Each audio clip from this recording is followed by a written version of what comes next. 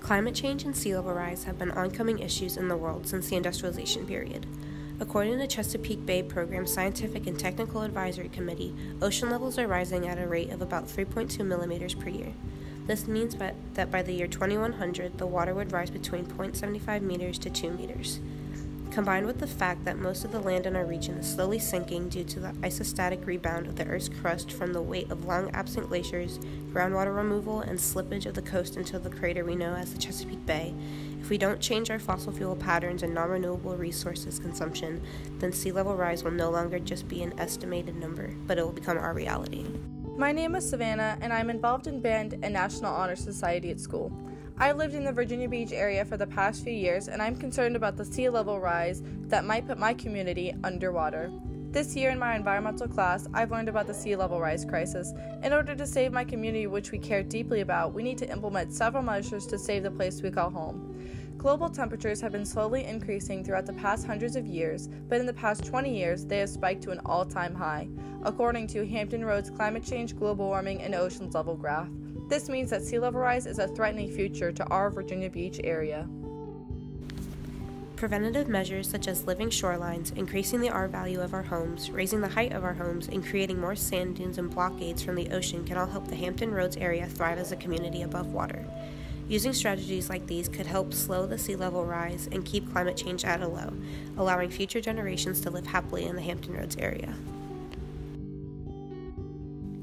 My name is Emma. I'm a student at Kellam High School. I am part of the Junior Senate, and I'm an active citizen in my community. Increasing the R value of a home simply means installing thicker and more dense insulation in your home. With more insulation in a home, that means you're able to use less energy to heat and cool your home. Kellam High School has even implemented some of these passive solar heating and cooling elements in the school. If you have southern exposure on a building, you will gain passive solar heating in the wintertime because the sun never goes about 30 degrees longitude. In the summertime, you angle the roof so that the overhang blocks the sun from getting inside. This reduces thermal heat gain and is free. All you have to do is mathematically calculate the roof angle. Living shorelines consist of an area of the ocean that have lots of plant life and fish communities that can absorb the ocean water and absorb shock from waves. Living shorelines absorb storm shocks, so not as much ocean water can do damage to our homes. Shorelines include sand dunes or simply just living plants near the shores of our oceans. So, why should we preserve Hampton Roads? My name is Hannah. I'm a junior at Kellam High School, and I'm an active member of Science National Honor Society. I have lived in the Virginia Beach area my whole life, and it is a place I would like to be able to come back and visit or even live someday. The Pungo Strawberry Festival takes place in May, and if the area was flooded or even three feet underwater, we wouldn't have access to the land and the festival would have to relocate or be postponed indefinitely. Roads to Sandbridge Beach run through marshy areas and over low bridges where it is almost always high tide. Rain itself floods these areas, and if sea level rises, we risk completely losing these roads and beaches that many high school kids and tourists go to every day. These are just few of the reasons why we should work together to preserve our home. The Port of Hampton Roads is also described as a mid Atlantic load center, according to the Hampton Roads Chamber.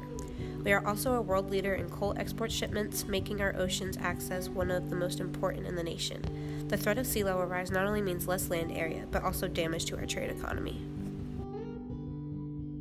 The WPA, which means Works Progress Administration, and the CCC, which means Civilian Conservation Corporation, established by FDR 19, planted grasses and trees on man made sand dunes along the coastline. These dunes are still standing today at approximately 10 to 25 feet. Another strategy that Hampton Roads could implement is the use of adaptive infrastructure. Some examples include floating structures, elevating on pikes, and amphibious structures that raise a few feet when water level rises underneath the buildings. Places in New York have started to implement and plan for these structures, so it would make sense for other coastal areas to start thinking about architectural strategies as well. Mitigative strategies could also help slow sea level and global temperature rise. Some of these include using more geothermal energy or natural gas when it comes to heating and cooling homes, carpooling to work, driving less, and using different energy guzzling products. We can't just accept sea level rise and learn to live with it. We need to find ways to reduce our fossil fuel emissions and slow the change in our climate so that future generations can have a happy life in Hampton Roads. The Norfolk area is home to Eastern Virginia Medical School, a place my mom has worked since I was born. Because Norfolk is right up against the Elizabeth River and the Chesapeake Bay, it is put at an even higher risk for loss of land from sea level rise. The Norfolk bulkheads and seawalls at the ocean front can only accommodate for so many feet of water that comes from high tide and flooding. Tourist attractions at the oceanfront will be threatened and we could lose all tourism completely in that area. If we don't act fast, then access to many major areas of Norfolk, like EVMS, Nauticus, and even the Hermitage Museum, will be cut off from other parts of Virginia. Naval bases will have to relocate, and our economy will suffer massive losses. No one person has the power to stop climate change altogether, but if we work together with the common goal of preserving area in mind, then we won't have to sacrifice our beloved landmarks and personal memories so soon.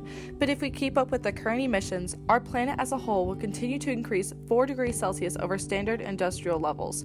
If you can't picture what would happen in our area, Think about low lying areas of Bangladesh and how much greater those less fortunate people would be affected. Their flooding would increase by 69% with a, just a foot of sea level rise. So let's make a difference in not only the lives of our future generations, but the lives of others and make a change to stop the change, because water is only safe in moderation.